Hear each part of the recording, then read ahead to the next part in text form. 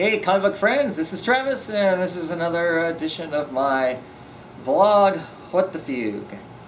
Um, got a list of things I think I want to talk about. We'll see if I get to all of them or if I forget to read my list and not talk about them. Um, let's see, first up I want to talk about the um, one of the kind of interesting things I heard kind of roundaboutly around through the um, San Diego Comic Con thing. Um, was that DC Comics is um, is going to work on getting themselves three work done three months in advance again.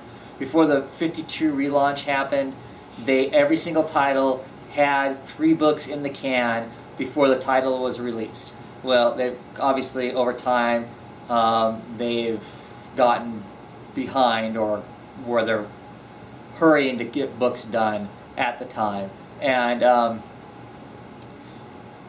you know, lately if you've been reading the DC books, you can kind of look and see lots of times you'll have multiple artists on a book, like multiple pencilers to finish a book up. Or if it's got one penciler on it, it may have like two or three or five inkers on it. And then you've got, you know, three or four colorists on it and stuff. And the reason that's happened is, is that the initial art has gotten behind. And so then there's no way for the inker who to get his work done or the colors to get their work on done on time for them to continue to um, ship on time. That's something the DC has dedicated themselves to doing is shipping on time. I think there's been one book, and just just, just recently, um, Swamp Thing got delayed a week. Um, that's the only um, book I think that has been delayed, and there was a shipping issue with it. It wasn't actually a they had the product done, but something, but the printer shipper part of it um, fail. But anyway, so here soon, more than we're already seeing, we're going to see fill-in artists on stuff until the actual official art teams can get themselves caught back up and get that three months in there. And the reason for that is, or, or the, the good thing about that is, the reason they should do that, um, as opposed to giving us little bits and pieces of art from our artists that we expect to be on the books is, is really who ends up getting hurt besides us, the consumer, who maybe isn't seeing what feels like consistent art because it keeps changing as the different artists are doing different parts of the book, is that inker and that colorist, they're not making as much money. If the artist, if the penciler gets behind and, and only gives the inker, let's say, four days to ink an entire book, obviously there's no way he's going to be able to do that. And so he, he only gets to ink, let's say, four pages. So he's only getting paid for that four pages of work as opposed to 22 pages of work. The same for the colorist. The colorist is only, gets paid by the page, and if he can only if he if he doesn't have time to color all 22 pages, they're only getting paid for a smaller wage. And so, really, to be fair, in my opinion, I think this is a good thing because then it gives an opportunity for um, you know for those other creators to get their full wages, to make a wage, to get paid. I mean, we want to have those good people doing those, you know, works and whatnot. And I think more and more um, um, uh, colorists and inkers are important to the book. You know, it's not just about the pencilist. That other, those other crafts really add to the book or take away from the book if they're not done well. So, you know, I think it's good. I think it's a, I think it's a good thing. Um, it just may mean that in the interim we may have a little more chaos as far as who's doing what books and kind of a mad shuffle and whatnot. Um, you know, I'm, I'm, okay with that. Um, last week I talked about, you know, one of the exciting things I thought about um, the San Diego Comic Con was the Sandman um, um, announcement that sometime in 2013 we're going to get um, a new Sandman miniseries. So excited about that that I decided um, I, I want to read all of them again. Um, and Ethan, he hasn't read any of them yet, and I think he's old enough now. Fine, let's read those books and see, you know, let him read those books. There's not anything too drastic in those. Um, so this will be his first Vertigo titles that he'll be getting to read and stuff. And so I decided that I don't want to read my singles because I don't want to keep taking them out of the bags and, you know, precious comics. So I went and ordered all 10 of the newest editions of the trade. They're totally recolorized. I got them two or three days ago. here they are. Well, here's all. Here's nine of them because the tenth one doesn't come out until November. Um, but here they are. They're pretty awesome looking. Absolutely gorgeous. Um, me and Ethan talked about a little bit. Maybe we'll do. Maybe we'll talk about each of these books, not reviews. I'm hesitant to call anything me and Ethan do as actual reviews anymore. We just talk about the books and what we want to talk about. So, me as an old reader rereading them, and Ethan as a new reader reading them for the first time, we'll be going back and probably reading these books, and maybe once a month we'll read one book a month or something like that, and um, and and talk about the book. Um, the the book, this latest printing, is just from flipping through it, it's gorgeous. They recolored it, like I said. Um, colors are closer to the hues that they actually really wanted to have. The paper is a higher, higher quality paper, so it just really feels really nice.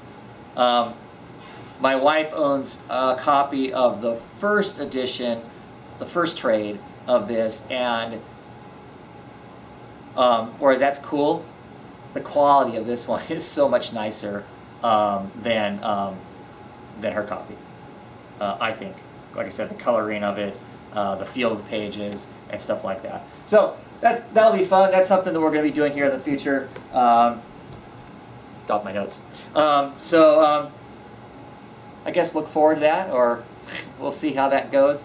I, I think that might be that might be fun to do. Um, other things that I have coming up that I've I've, I've been mean to get to, and I, I just haven't had time amongst my regular schedule of stuff that um, we put out and the rest of things in my life that have been keeping me busy for a lot of summer.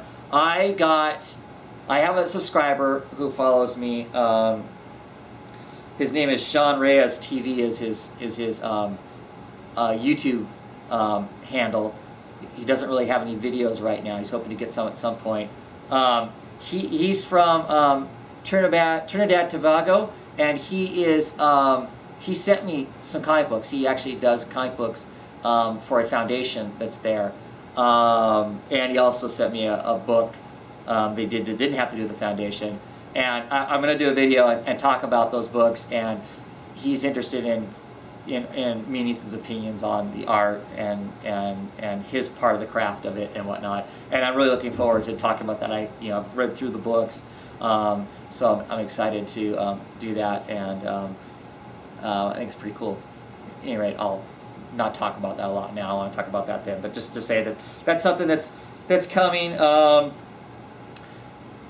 just a little while ago, I read an article where someone interviewed um, Dan Didio, the um, one of the heads at DC, and they are hinting at a um, line-wide crossover event of some sort, possibly at the end of 2013.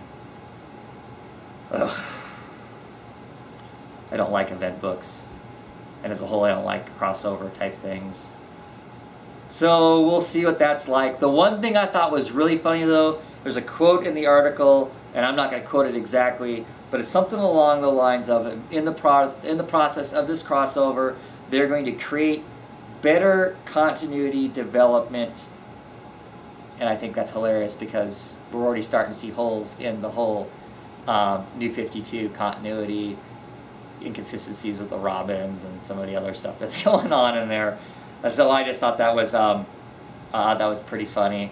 Um, I also just heard that for you X-Men collectors out there, the big fans, that the highest graded copy of X-Men number one, and it was graded at a 9.8, just sold for $492,937.50. So, I don't know how many of you YouTubers out there can afford that number one. but, wow. It'd be nice to be able to buy a book like that, huh? Pretty cool. You know, I know we all have that dream of, you know, walking into some garage sale and finding an awesome book like that, but anyway, pretty outstanding. Pretty outstanding that there are some serious um, comic book collectors out there that have some cash. I'm, I'm hoping that, that, it's, that it's a major comic book collector that's buying these books for these kind of prices as opposed to somebody who's buying it as a investment um, down the road. Um, let's see. What else do I want to talk about? oh, hey, I, I, I, keep hearing that people have problems with, um, are having problems with YouTube right now and getting, um, being able to respond to people's video. Those of you who know how to fix that, I don't have a problem with it. I, I can respond to my videos without any problems. I've heard people say that they kind of offhandedly that they figured out how to fix it. Let us know. You know, um, let everybody know. Because I mean, that's one of the cool things about this whole YouTube comic book community we got going on now is I, I love talking comics with everybody. Um, I love read, watching everybody else's videos. I love commenting and, and hearing comments back and, and, and all of that. I mean, even if I got, I think even if I got tired of making videos, I would keep making them just because I'm never going to get tired of talking about comics. So I doubt I'll get tired of the videos too. But I never get tired of talking about comic books. So it's a real kick to, um, to um, you know, get to talk to as many people. And it really is a bummer if we can't get the respond button to work right. So let us all know. Uh, or if somebody has and I just missed it, um, let me know so we can point it out to people. Uh, speaking of talking to comic books, um, one of my best friends um, who has been collecting comic books a little longer than I have even, um, um, and really one of the reasons I became friends with him is through comic books and whatnot. Uh, and I've been friends with him for I don't know 30 some years. Um, yeah, he's got a blog, and he also um, does podcasts, and I podcast with him um, somewhat regularly. I say that, but you know, it's we just we just did one, so there's one out right now. Anyway, his um, his blog is at longboxreview.wordpress.com. Um, and check it out if you like to just listen to just straight podcasts that aren't attached to um, you know the um, YouTube. You should check it out. Um, he's got a lot of interesting stuff to say. You can hear me blather on about stuff a whole lot more. Um, I, tend to rant and rave on most of those podcasts. You can hear me sounding excited and irritated by things and stuff. Um, but anyway, and also speaking of of, of um, podcasts and um, uh, comic talk and that sort of stuff, there's the comic book talk.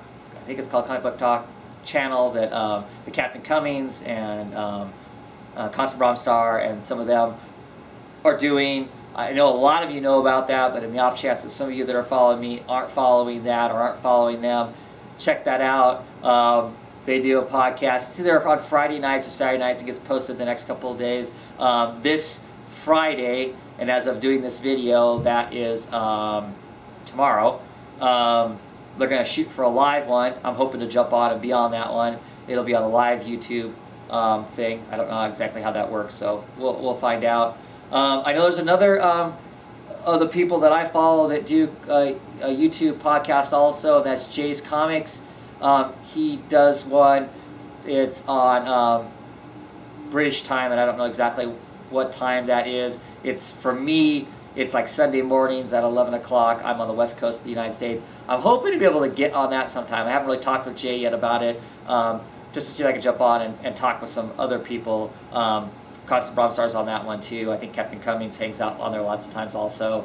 Um, so I'm kind of hoping to jump on that one too, because then I'll get to talk comics with some other people. Because for me, besides just collecting the books, getting to talk about them and talk with everybody about what's going on, all the different stuff and whatnot, uh, is a great thing. Um, love the YouTube community for that. really happy that I decided to start making videos instead of just writing um, reviews and whatnot. Because that's what I used to do. You know, for a year or so before um, I did my videos, I have my um, Oddfellows Thoughts wordpress.com where I used to write reviews of stuff pre um, DC New 52. I started doing the videos with the whole September release of the New 52. So if you get really bored, you can go check out that old stuff. Um, anyway, really happy because I get to talk to a lot more people than what I did with um, with just the written blog. Um, yeah, I think that's all I have to talk about um, this week around, right around now. Um, oh, um, you may hear a little bit less from me for the next two weeks. Um, work is going to suck for a while. I'm working six days a week. 12 hours a day kind of a deal. Um, so I'll be hard pressed for reviews. Me and Ethan might squeeze out. Well, we're going to do a review. We'll do a review this coming weekend and have it out Sunday, Monday, something like that. Um, but um, the next couple weeks might be hard to get some um, no capes and some um, monster comic reviews squeezed in there. So we'll see. So if you don't hear me commenting a lot, um, it's either I'm way behind on watching all those videos, but I really want to watch them because I, I, like I said, I enjoy hearing what you guys all have to say.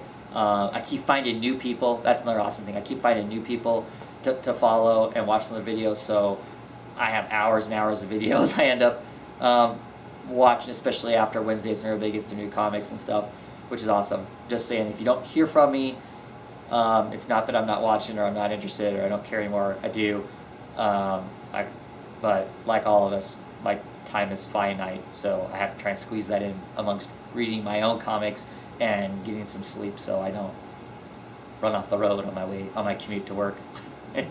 Any rate, um, yeah. Uh, everybody keep up the good comic book talking. Look forward to watching your videos. Hoping you're watching my videos. Thanks a lot for subscribing, thumbs up, and thumbs down, and comment, and all that good stuff. Take it easy, everybody.